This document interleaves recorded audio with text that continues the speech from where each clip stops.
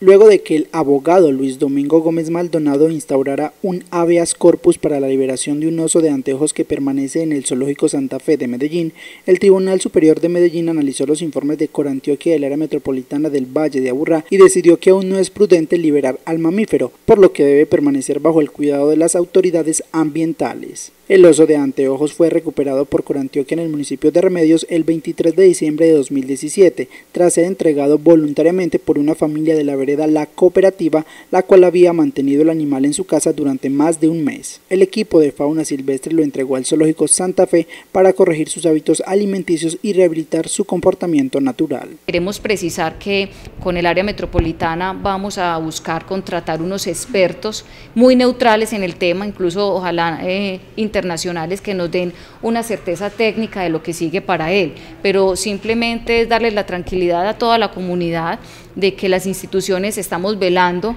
estamos tratando de hacer todo lo que está a nuestro alcance para tener este animal en buenas condiciones. Debido a su crecimiento acelerado y con 19 kilos de peso, el 13 de abril de 2018 fue trasladado a la zona de exhibición del zoológico, donde hay una infraestructura que le permite desarrollar comportamientos naturales propios de su especie y mejorar su bienestar.